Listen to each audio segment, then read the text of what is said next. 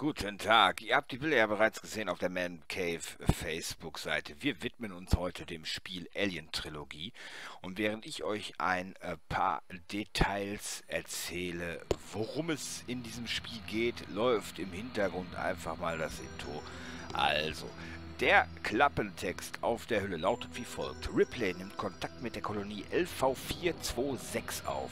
Böse Erinnerungen werden wach und du hoffst, dass hier nur ein unglückliches Versehen vorliegt. Erkunde die Strukturen in der Umgebung, räume die Barrikaden aus Kisten und Fässern aus dem Weg. Nur ein einfaches Kommunikationsproblem. Aber eigentlich weißt du es ja. Willst du es dir nur nicht eingestehen? Eliminiere alle Aliens, zerstöre ihre Nester und lösche die Eierkammern mit Feuerbomben aus. Sie sind zurück. Facehugger, Chestbuster, Hunde-Aliens, erwachsene Aliens und finde die Königin und eliminiere sie. Was auch geschieht, du musst die Königin eliminieren. Drei Königinnen-Aliens. Über 30 säureverkrustete Levels, ein Arsenal tödlicher Waffen und du, die absolute magenumdrehende 3D-Action der kompletten Alien-Reihe lässt deine schlimmsten Albträume wahr werden. Nun ja, gut. Ich habe das Ding angespielt über äh, PC mit der Software PSXE. Ja, ein Emulator. Das Spiel selber habe ich original mir geholt über Rebuy und äh, habe das dann halt eines Abends so ganz locker flockig angezockt. Hatte erst beim Spielen einen Audiokommentar gemacht, aber da fielen dann so viele komische Schimpfwörter, ähm, dass ich das Ganze dann im Nachhinein nochmal aufgenommen habe. Die Level sind alle ziemlich düster gestaltet, so wie es sich für einen Alien-Film an und für sich gehört. Oder wie man es aus einem Alien-Film kennt.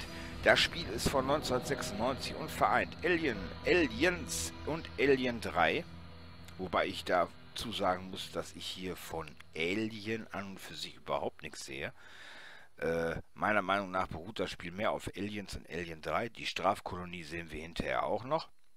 Und äh, ist von Acclaim in Zusammenarbeit mit Fox Interactive, die ja jetzt mittlerweile äh, zu Disney übergewandert sind.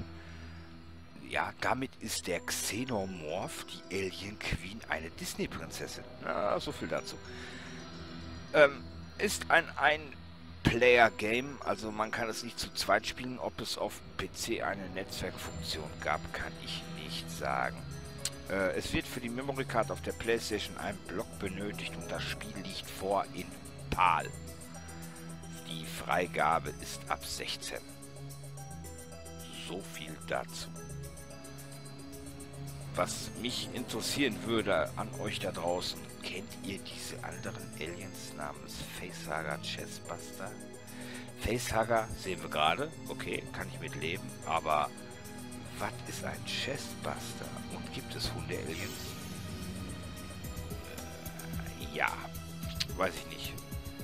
Alien Königin kennen wir aus dem zweiten Teil und ich glaube im dritten kommt auch eine vor, das ist soweit okay, aber äh, schon etwas merkwürdig. Die Level sind an und für sich alle gleich gestaltet. Es gibt immer Fässer und Kisten, die man aus den Weg zu räumen hat. Ja, äh, an dieser Stelle hier war ich mehr oder weniger etwas verwirrt, weil es ging einfach nicht weiter. Das ist das erste Level. Ja, und ich, ich musste echt zusehen. Ich weiß, man musste eine Batterie finden, da kann ich mich noch erinnern. Ja, aber mit der stinknormalen Pistole ging da wirklich gar nichts. Und dann habe ich mich kurzerhand selber beholfen. Weil mit dem EPSX hat man die einmalige Möglichkeit, man kann sich Cheats downloaden. Es gab damals für Alien Trilogie, da kann ich mich noch ziemlich genau dran erinnern, einen Super Cheat, den gab man ein und konnte sich unendlich Waffen, äh, also alle Waffen freischalten, Munition und unendliches Leben und dann die einzelnen Level auswählen. Äh, ja, das habe ich dann in diesem Fall nicht mit dem Supersheet gemacht, sondern ganz genau jetzt werdet ihr gleich sehen, kreuzt oben rechts in der Ecke Panzerung und Stiefel 999% auf. Ja, und äh, danach konnte man dann sich auch ein bisschen mehr in diesem Level umsehen. Ihr könnt dann halt mit jeder anderen Pistole, könnt ihr die Fässer und Kisten aus dem Weg räumen. Und äh, geht es eigentlich rund. Es geht eigentlich im Endeffekt immer um dasselbe. Ihr müsst Batterien finden, damit ihr Licht- oder Fahrstühle aktivieren könnt, die euch auf ein neues Level bringen. Und euch stellen sich verschiedene Arten von Aliens in den Weg. Das Ganze ist zwar nur losbasierend auf den Alien-Filmen, aber für mich nach wie vor immer noch das beste Alien-Spiel überhaupt. Ja, und wenn man sich ein bisschen von den Augen her an die Altbacken-Grafik gewöhnt hat, dann macht dieses Spiel echt Spaß. Wenn es jetzt nicht gerade auf dem PC laufen würde. Ich habe auch eine PlayStation 1 Konsole, da gibt es die Tage noch mal ein paar Bilder zu.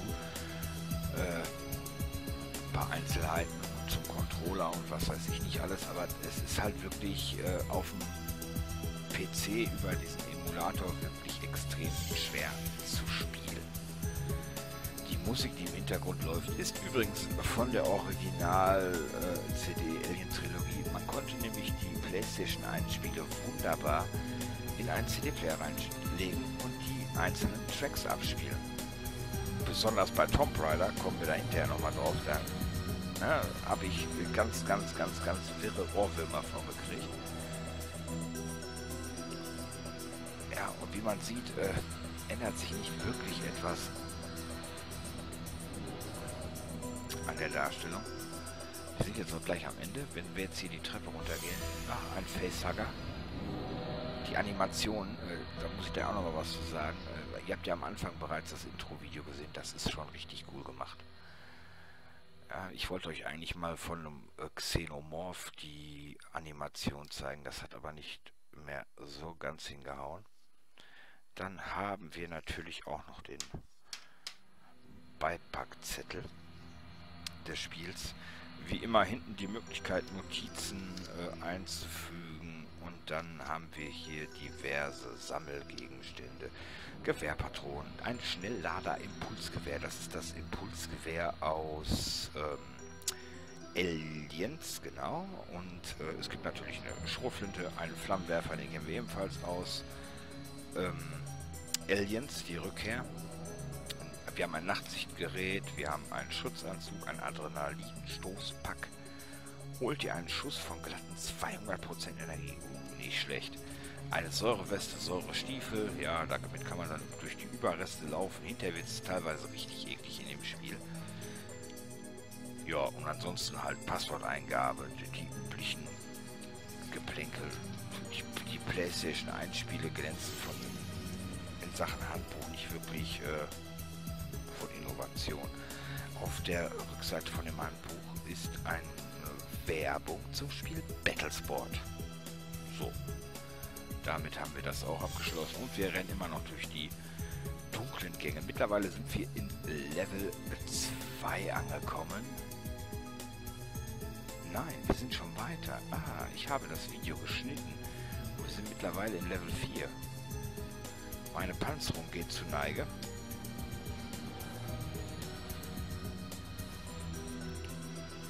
Es wird auch wirklich nicht heller. Man befindet sich bei Alien Trilogie wirklich zu 90% nur innerhalb von Räumlichkeiten. Hinterher im Strafgefängnis, äh, in diversen Laboren oder halt in der Kolonie auf LV 426.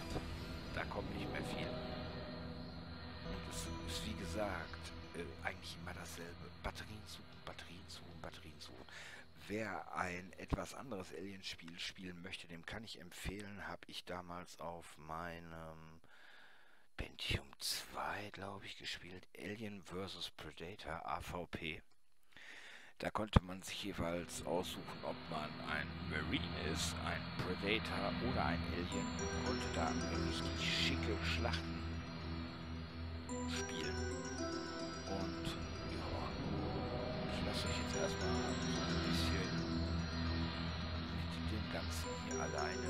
Schaut euch das mal an und ich melde mich dann gleich nochmal wieder kurz vor Ende des Videos. Bis den.